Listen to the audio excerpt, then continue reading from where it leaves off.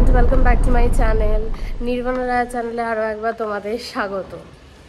আজকের ব্লগটার জন্য আমি ভীষণ এক্সাইটেড মানে প্রচুর দিন অপেক্ষা করেছি যে কবে এই ব্লগটা বানাবো।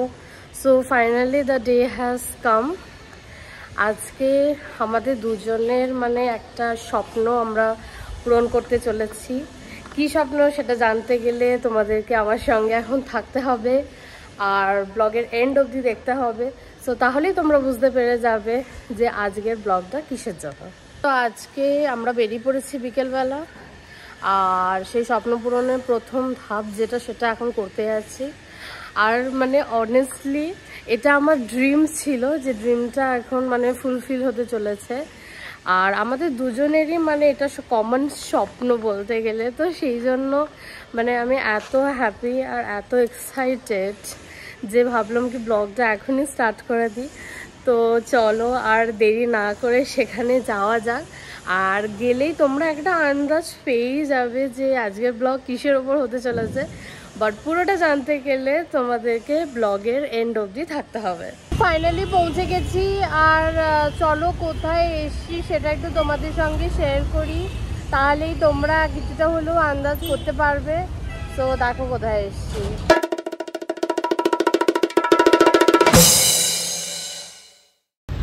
আমরা এখন বাজাজের শোরুমে চলে এসেছি, আর এটা আম্বা বাজাজ মাডিওয়ালা ব্রাঞ্চ তো আজকের ডেস্টিনেশন আমাদের এখানেই তো চলো ভেতরে যাই অ্যান্ড কি হচ্ছে না হচ্ছে সেগুলো সব কিছু তোমাদের সঙ্গে শেয়ার করো hello guys so today we have come to the Bajaj showroom to book special bike so it's a dream for both of us so after like three months of planning, so we have decided this bike.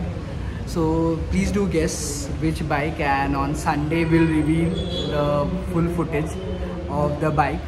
Till that time, please do guess. 20 minutes later. So we have booked the bike. So let's see. So it will take uh, somewhat uh, more half an hour for all the formalities. So once we leave the showroom, uh, we'll uh, uh, talk with you.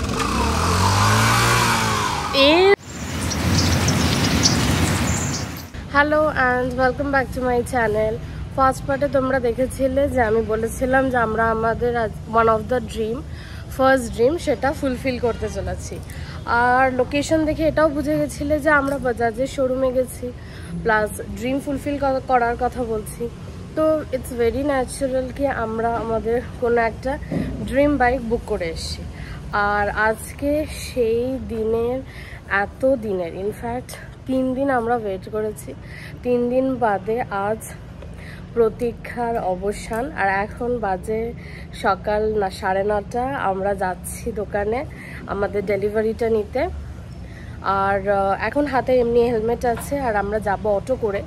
Because আমরা scooty করে তো যেতে পারব না definitely কারণ বাইকটা আমাদেরকে চালিয়ে আনতে হবে।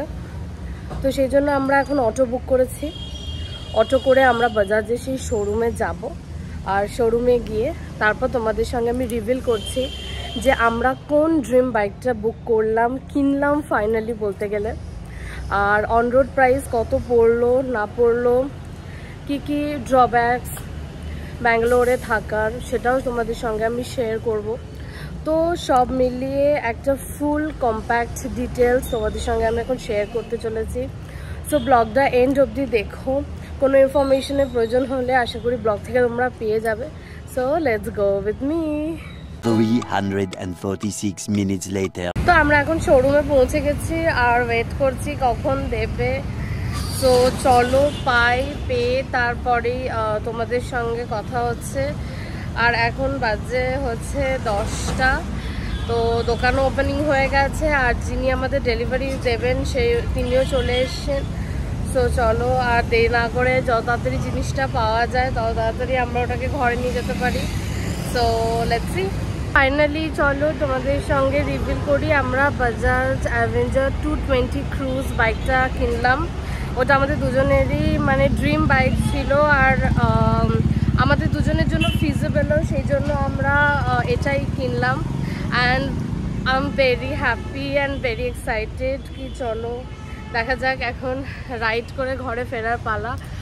আর আরেকটা জিনিস যেটা তোমাদের বলার, সেটা হচ্ছে ব্যাঙ্গালোরে এটা অন রোড প্রাইস পড়ল one lakh ninety three thousand five seventy eight something যেটা মানে অন্যান্য সিটি থেকে যদি তোমরা কলকাতায় যদি তোমরা এটা কম্পেয়ার করো টোয়েন্টি থাউজেন্ড বেশি, কারণ এখানে রোড ট্যাক্স ভীষণ বেশি। তো সেই রোড ট্যাক্স অনেক বেশি হওয়ার জন্য আমাদের এখানে প্রাইসটাও একটু হাই পড়ল। বাট এনিওয়েজ ড্রিম তো ড্রিমই হতা হয় আর ওয়ান টাইম ড্রিম ফুলফিল করার মকা আসে। তো সেই জন্য like we bought the bike and আজকে এটাই বলার ছিল।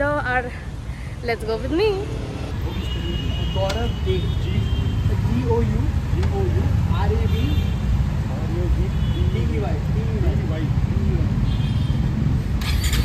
Both of our dream has uh, first dream.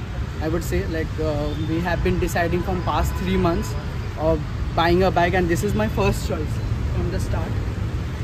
So.